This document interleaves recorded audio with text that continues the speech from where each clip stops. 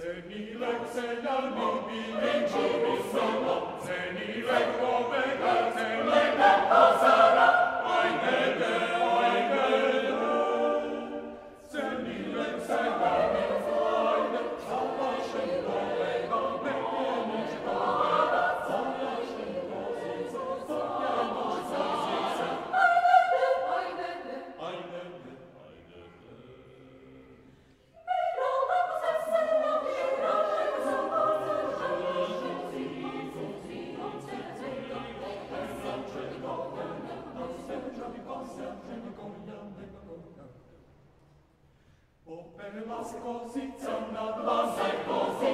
Ade, cosa che